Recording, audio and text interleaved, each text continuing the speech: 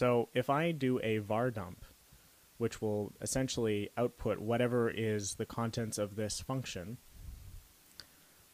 I'm going to see, hold on, let me just comment this out. I'm going to see a string with a couple of different paths. So we, every path is separated by a colon here. So I've got just the dot.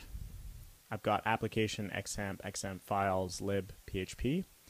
And then I have uh, the PEAR library as well. So one technique that really helps is to include other paths. So if we want to store classes in another part of our program or another part of our application that's not necessarily in the in the public folder, then we would have to add that as a particular path. So we're going to start with that. If I go back here, I'm going to create a new folder, and I'm going to call this folder com, which is a little strange at first, but it'll make sense in, in a minute. And for now, I'm just going to take this user.php class that I've written, and I'll move it into the com folder. Now, if I go back to index.php, and I want these lines to function properly, of course, instead of doing require once uh, user.php, I would have to go up a folder into the com folder, and then I, I would have to grab it there. If I refresh this again, John Smith, everything is working. See, if I just did user.php, then I would get this warning and it would say, you know, I can't find user.php and it would fail, which is, of course, bad.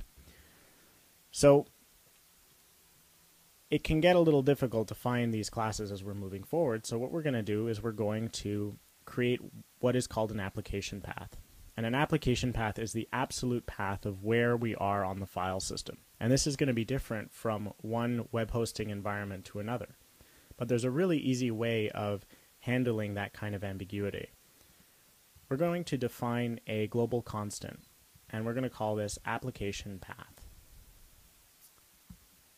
And it's going to use this realPath function, which is provided by the PHP framework. And we're just going to do this and then I'm going to echo application path. So what you can see is I'm asking PHP for the real path of whatever is up one folder using two dots here. If I refresh this, I'll see that in my case, hold on, let me just uh, comment this stuff out.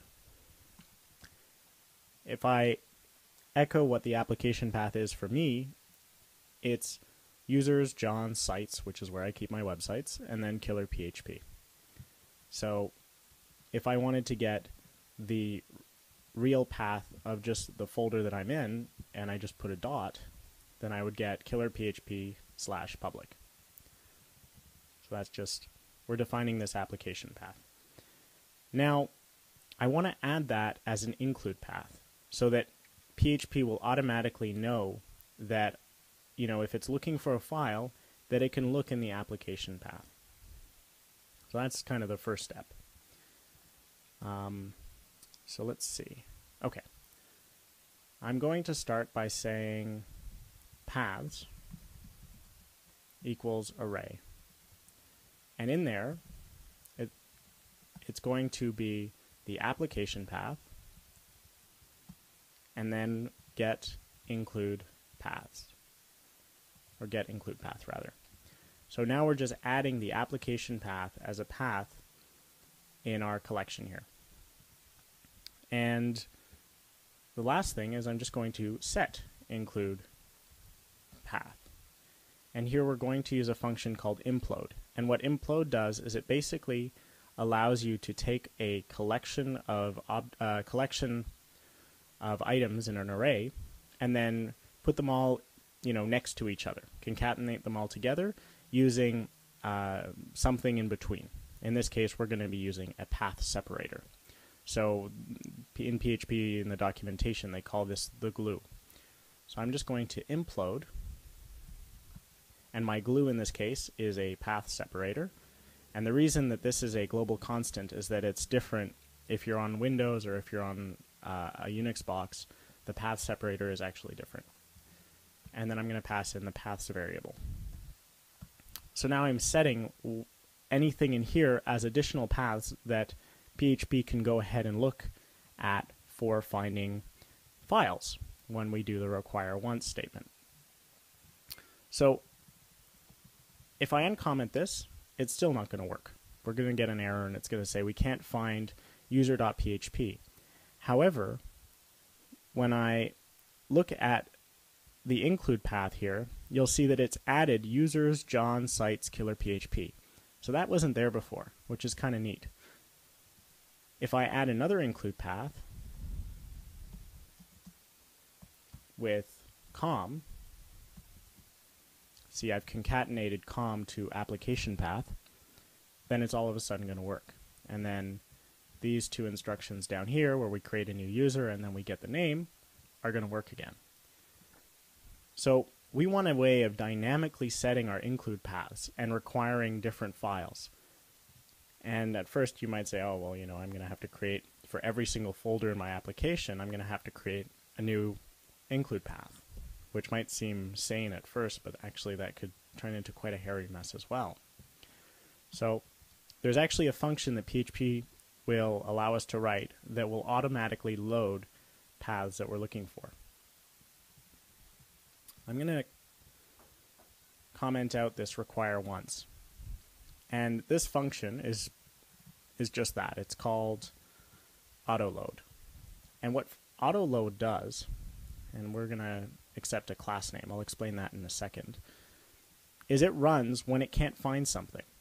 So when I can't find new user, when the parser has trouble finding this new user object, it'll immediately go to the autoload class that we've defined here, and it'll say, hey, I'm looking for this thing and I can't find it.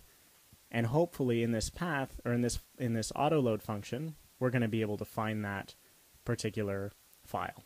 So I'm going to just do an echo on class name, and then I'm going to put in a return statement. Let's see what happens.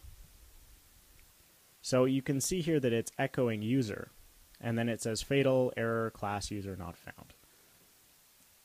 So this isn't, you know, this is basically we have to take this user and we need to concatenate .php and then run the require once statement. So one way of doing this is to essentially go in and say require once and then class name and then we can concatenate that with .php. And then it's going to work again.